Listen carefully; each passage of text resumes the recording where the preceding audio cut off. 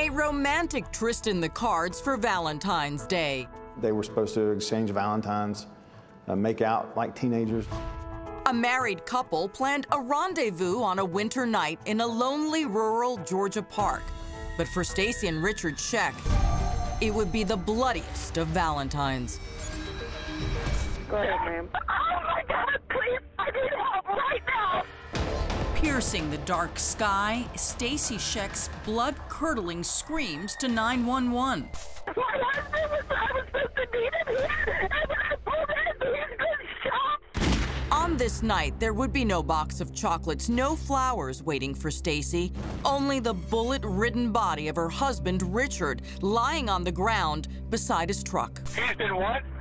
He's been shot. He is dead. Was it a random shooting, or was something more sordid at play? And what you look at in that situation is that is either a personal thing, somebody really hates him and wants him dead, or it's professional.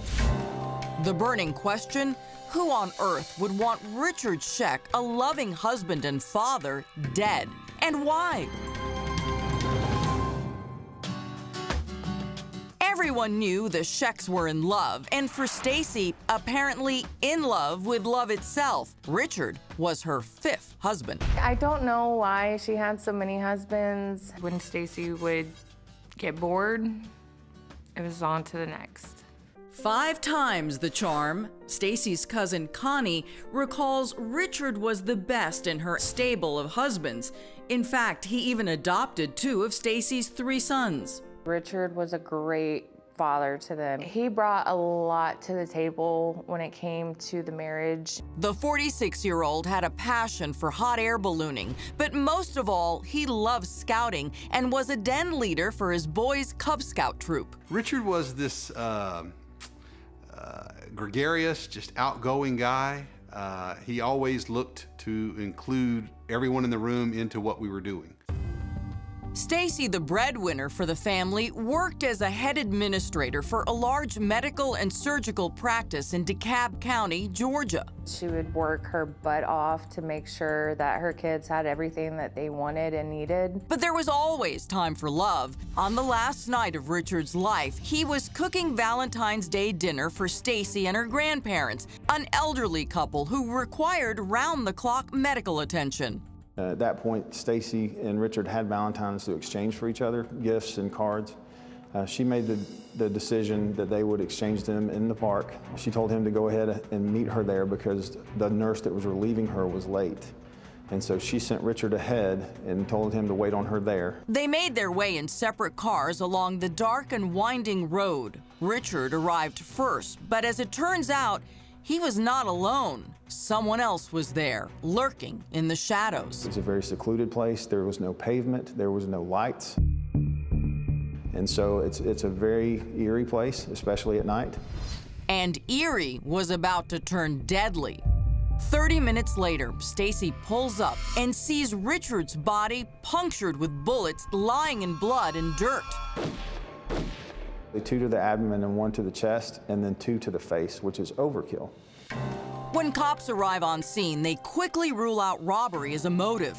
When we searched his truck, we found there was $40 in the center console. His watch was on, his wedding ring was on, his wallet was on him. If it were a robbery, then there was about a $40,000 truck sitting there idling that they could have jumped in and taken. One of the first to the scene, Lieutenant Dan Franklin, says from the get-go, something just didn't smell right. Basically, red flags are the best way to put it. The shooting appeared to be too over the top to be random. Richard's just a regular guy who's unarmed, and he gets there and he's comfortable enough to get out of his truck and approach the person who ultimately shot him to death. And in the darkened night, the mystery killer is already gone by the time Stacey says she arrived at the secluded spot. Detectives scour the crime scene for evidence, but there isn't much to go on. Suddenly, with police spotlights trained on the crime scene, soft dirt that absorbed Richard's blood seems to speak volumes to investigators, telling a chilling story. The soil at the scene was soft, it was muddy, and it was very conducive to preserving tire impressions. There, imprinted in the wet soil, were three sets of tire tracks. We determined, we saw Richard's impressions, We saw the impressions that Stacey's Ford Explorer made, but there was a third set of impressions uh, that came in from the park. You could follow them from, from the road. So that told us that the vehicle that left those impressions was there before Richard got there and then left, presumably after he was dead. Cops believe the tire tracks had to be those of the killer, but matching them to a getaway car would be like finding a needle in a haystack. Or would it? Before cops can worry about how to make a match, a frantic Stacey makes a shocking admission. Before we left the scene, she started telling us about an affair that she'd been having with a guy named Juan Reyes.